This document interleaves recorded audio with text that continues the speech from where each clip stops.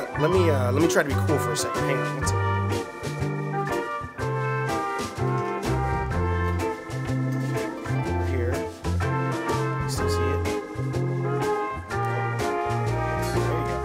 Like in 2021, the year of 2020 at Jace, you're not a cool YouTuber unless you have some like cool lights in the background. Poppin' blue or, or neon yellow or whatever it may be. Anyway, uh, I'm Hey Archer by the way. Uh, so, if you're new here, I am Hey Archer. Here we talk all things nerdy, movies, video games, TV shows, Pathetic loser. all that kind of stuff.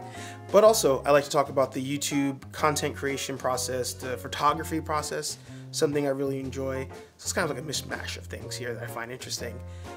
But lately, I've been really big into vlogging, which if you haven't subscribed to the channel, you should do that. And follow the Untitled Vlog. I've been into vlogging lately, doing these kinds of videos where I'm actually going around the house or going outside just to even just chat with you guys. And I've been using my video mic. And the video mic is great. The issue that I have with the video mic is that I have to always be in line of sight up close to the mic because it is a shotgun mic. And everybody, including the former Everything Man, Anthony blah blah blah blah blah, loves the Rode wireless mics. So they actually came out with a new one, uh, the Rode Wireless Mic 2, and I want to unbox that. I got that in the mail. See how it works. We'll go outside, test it that way. This isn't going to be super scientific. If you want a scientific reaction or whatever video, there's plenty of other channels you can watch. I just want to show you how this applies to just doing this, the vlogging. I might even try doing it on my Hey Archer live show or seeing if it works in that kind of uh, usage. Enough blabbling, blabbling, enough babbling. Let's just roll into it. Intro.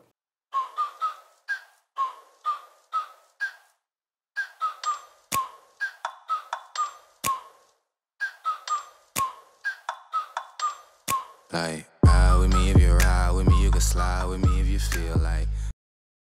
I ended up ordering from B&H, which I've actually not been to B&H since college, back when I was an advertising student. And that was like the place to go for photography.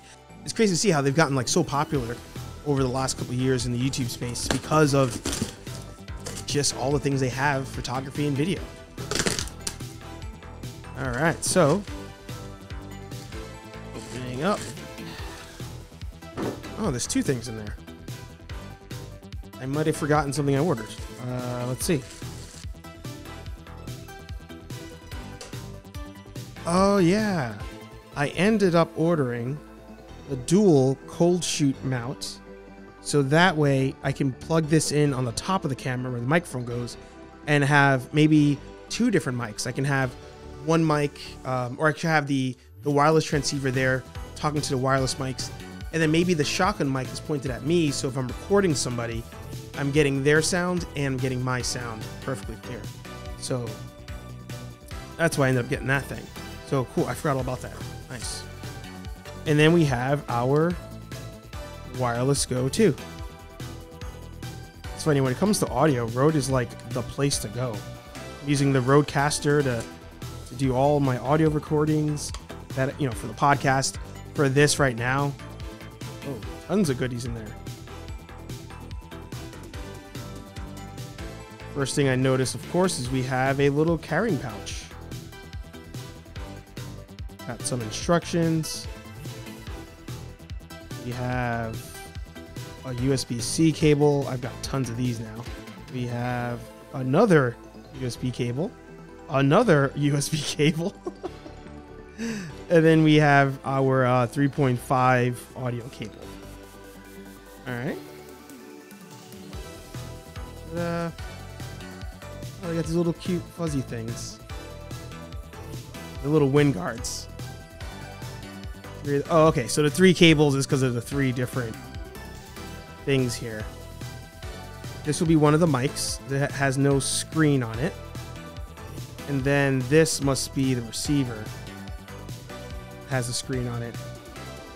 Now, the thing I saw online as I was watching the reviews and the unboxings is that the the mics are already paired to the receiver, which is great.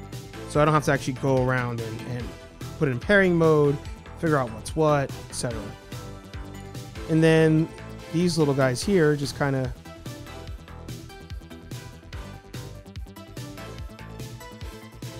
it's got like a little afro on it. All right, so I'll read the instructions, figure that out. Uh, let me unbox the um, the cold shoe mount. Right, there we go.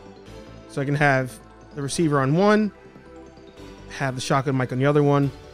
But something to note here, there's no um, there's no sensor or connector. I don't even know what they call it, but it, like if you had a flash, you can't put a flash on one of these and have it talk to the, the camera unless you have some sort of wireless flash system. But I do not have a wireless flash system. So you can't use this for flashes, but you can use this for audio.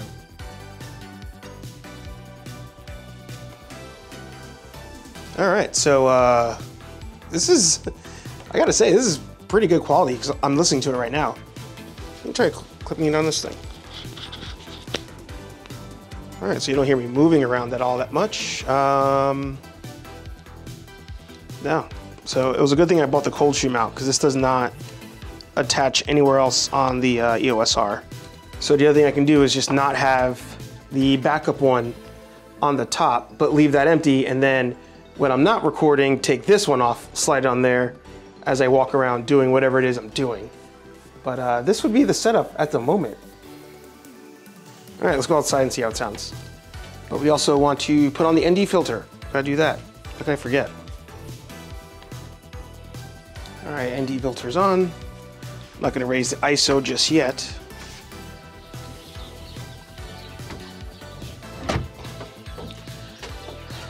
So, this is how it sounds as I'm walking up the stairs. There you go. I think so far so good. Let us try, see how far we can get.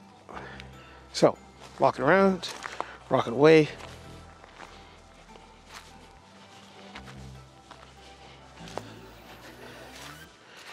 So I'm pretty far now, and uphill. So see how the sound is, if you hear any wind. All right. Testing it outside with a mask on. And that person who's not been in a video in a while. Uh, see how it sounds without the mask.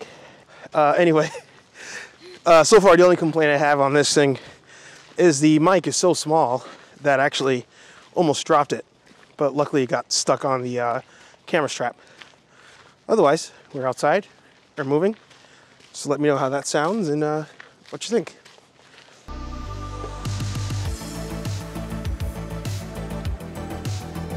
Thinking of, and I was like, oh, we should all watch party of that, and it just like it left my mind. I should have uh should have wrote it down.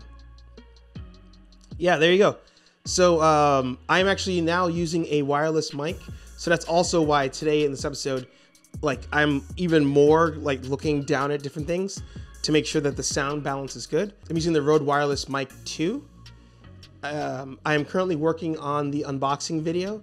Uh, I shot pretty much everything except for this part now because part of the unboxing video is me talking about can you use the Rode Video mic to still do like live streaming and all that kind of stuff. So, uh, so far so good. I think one channel is definitely higher than the other channel with this, so I can always mess around with the Rodecaster and figure that out. But otherwise, uh, I think it sounds all right.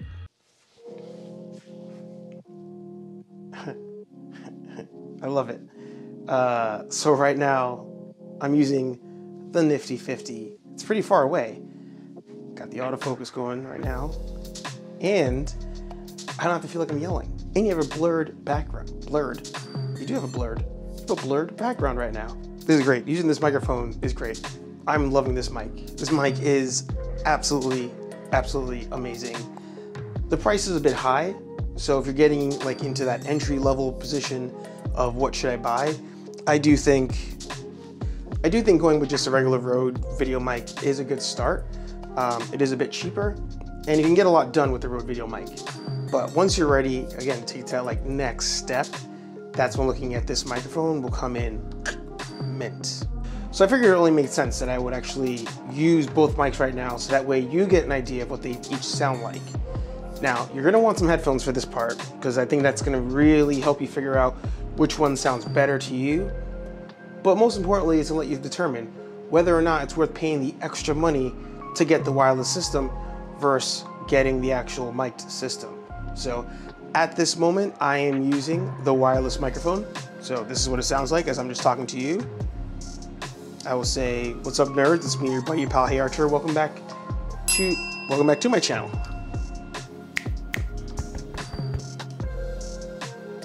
Same distance right now. I have to talk a little bit louder. I'm guessing so you can hear me.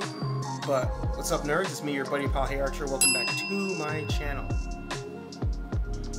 I don't know. What do you think? Right now we are on the shotgun mic, the Rode video mic. So does that sound good to you? Do you think the other one sounded better? Or do you like this instead? Is it worth the price difference to you? It's really what it's gonna come down to. It's also gonna come down to which one's available because the Rode Wireless Mic 2 is actually pretty popular and only available at B&H's website. It's not on Amazon yet, or at the time of me shooting, it's not on Amazon.